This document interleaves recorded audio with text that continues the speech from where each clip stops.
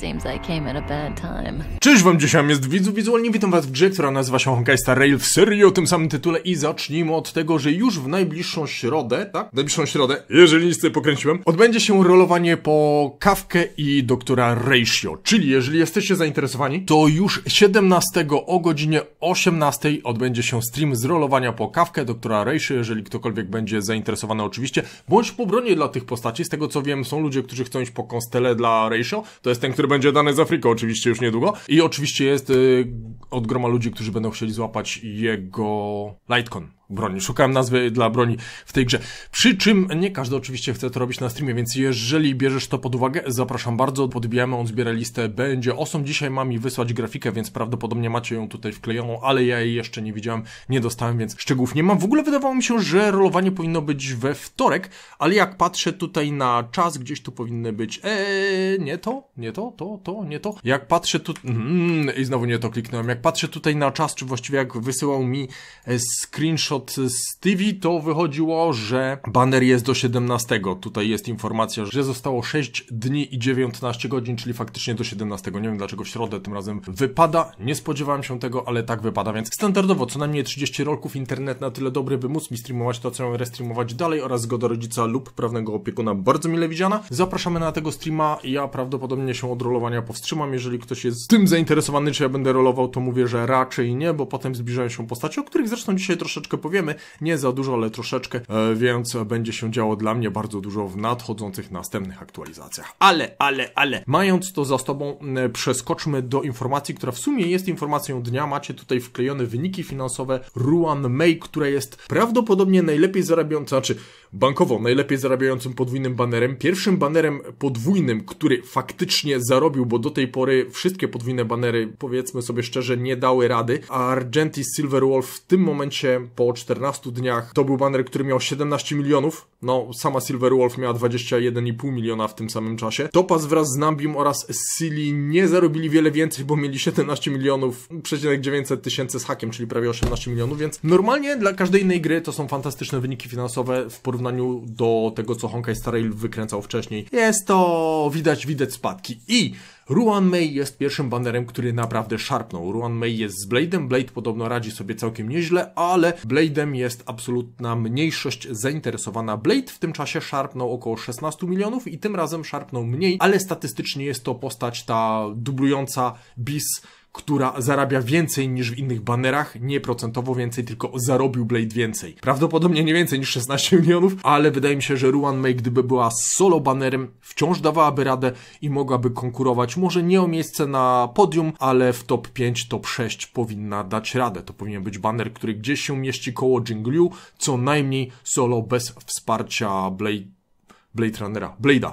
Więc mega wyniki, bardzo zaskakujące pozytywne wyniki dla Honkaja Star Raila. Jest to ogromny wygryw. Wydaje mi się, że może to być związane z tym, że Dr. Ratio jest dawany z Afriko, bo z jednej strony ludzie zainteresowani przyszli, więc są, mogą zostawiać kasę, z drugiej strony ci, którzy planowali złapać Dr. Ratio, albo zatrzymują rolki na przyszłość, będą łapali kolejną postać, albo wydają je teraz na Ruan Mei ze względu na to, że to jest świetna bohaterka, więc ten banner jest totalnym wygrywem, tak bardzo daje radę i tak bardzo daje czadu, że się tego w sumie w Hojo nie spodziewali, ja się tego nie spodziewałem, mam zaskok z każdej strony, więc wow! Ale od momentu, kiedy na live streamie zapowiedzieli, że Dr. Free będzie za Reishi, czy właściwie Dr. Reishi będzie za Free, jak zwał, tak zwał, Veritus Pan, to wiedziałem, że to jest wygryw. To było genialne zagranie, szachmat, etatyści, zapowiadały się zniżki formy, Honkai Star Rail mógł złapać totalną zadyszkę i nagle jest przeskok kilka poziomów wyżej i jest takie, widać, że rozegrali to najlepiej jak mogli. Kumulacje, mieli kumulację, więc to je bardzo udane. Przeskakując dalej, chciałbym powiedzieć, że uwaga, spekulacje i spoilery, spoilery, spekulacje, jeżeli ktoś nie przepada, to polecałbym przywinąć dalej. Pamiętajcie, wziąć wszystko z wielkim przymrużeniem oka, jeszcze większym ziarnem soli, bo nie wszystkie z tych informacji muszą okazać się prawdziwe, niektóre z nich mogą być trefne, inne mogą być prawdziwe w momencie wycieku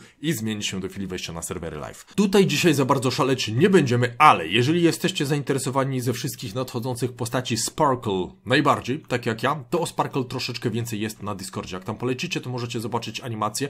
To są w sumie animacje do nadchodzących eventów, tam będą jakieś puzelki, nie puzelki logiczne do robienia i przy okazji bieganie jest tam na Sparkle, więc możecie zobaczyć, co ona robi talenty, wszystkie te rzeczy plus minus widać i evencik jest całkiem spoko, ale to, co mnie najbardziej cieszy i co najbardziej raduje, że można się troszeczkę bardziej przyjrzeć tej postaci. Co ona nam będzie miała do zaoferowania? Tak, Sparkle to jest ta, no ogólnie ta z liszą maską, więc i nie, jakieś imię jej tam rzucili, ale w moim serduszku to zawsze pozostaje Sparkle, więc z mojej perspektywy jest git. Wygląda fajnie, ma ładne animacje, nie jest aż tak bardzo dopieszczona, jak się spodziewałem, no ale do premiery tej postaci jeszcze troszeczkę zostało, więc mogą tam popodkręcać. Zazwyczaj to jest ten moment, kiedy w... dopiero zaczynają wrzucać te najbardziej dopieszczone, podkręcone animacje do postaci, więc tutaj jeszcze troszeczkę może się zmienić. Nie będę zapeszał, nie będę tutaj skręcał atmosfery w dół, za to następna część lików to jest tylko częściowo liki, ale tu będzie skręcanie atmosfery w dół, więc Ubacza ostatnio wysypał się z bardzo dużą ilością rzeczy z przedpremiery Honkaja Star i przedpremiery Genshina, bardzo stare liki,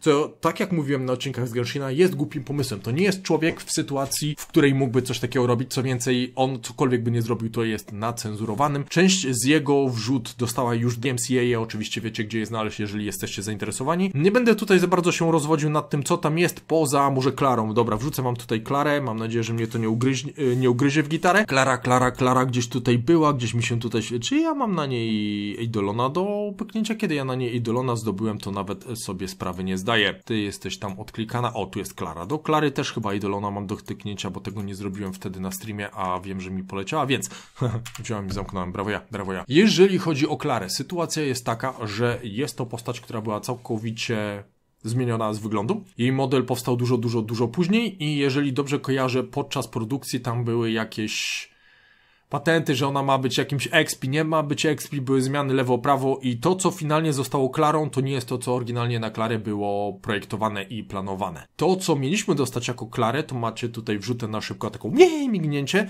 co tam zostało poczynione i jest to przekomiczna, prześmieszna rzecz.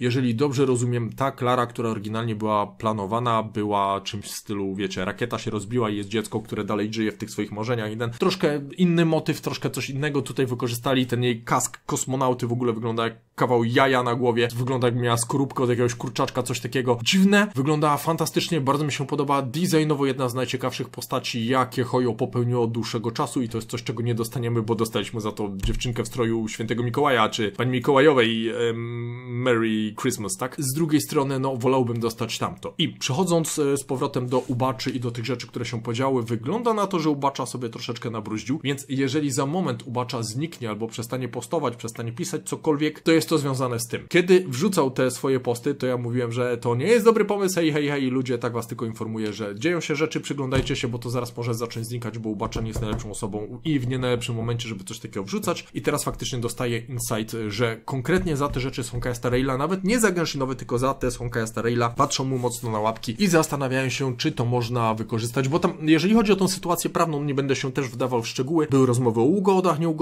różne rzeczy tam się dzieją w tle, wiecie, przesuwają się klocki, przesuwają się klocki cały czas. I teraz zostały klocki przez jego działania mocno pchnięte w inną stronę, mniej korzystną dla niego. Co oznacza, że Ubacza mógł sobie tak bardzo nabruździć, że aż jest to przykre, a nie było w sumie żadnego celu w tym, żeby to zrobić. Znaczy w ogóle sporo ostatnio ludzi zrobiło bardzo głupie rzeczy, poczynając od tej, jak ona tam miała, tej, której nie znoszę i której nikt mi... Navis.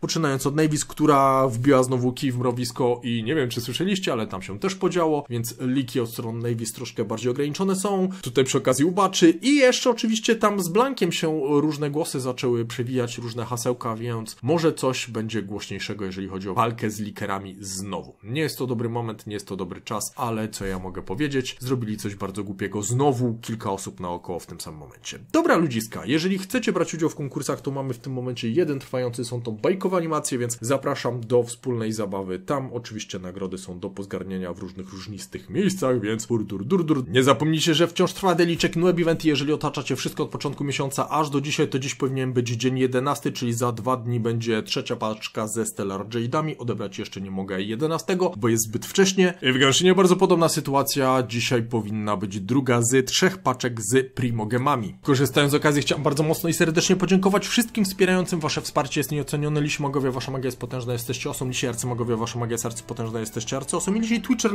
wasza magia Twitcher potężna jest, jesteście Twitcher osą. Na Twitchu widzimy się, no, już w środę. To już jest wszystko, co ja dzisiaj dla was mam przygotowane, więc życzę wam miłego dnia, dobrego dzonka, świetnych pięciogwiazdkowych rolek. Niech konduktor RNG wam sprzyja. Do następnego, i hej!